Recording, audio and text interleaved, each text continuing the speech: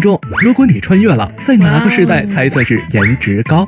每个时代的人审美都不一样。石器时代很危险，会打猎才能生存，因此大家觉得女子越强壮才越美。但是如果这些石器美女生在汉朝，可能就没人要了。汉朝人觉得女子身轻体瘦才漂亮。到了唐朝，大家认为胖是富贵之相，女子越胖才越美。而现在变成了小脸的天下，五官立体精致更加受大家欢迎。小伙伴们，你在哪个时代最美呢？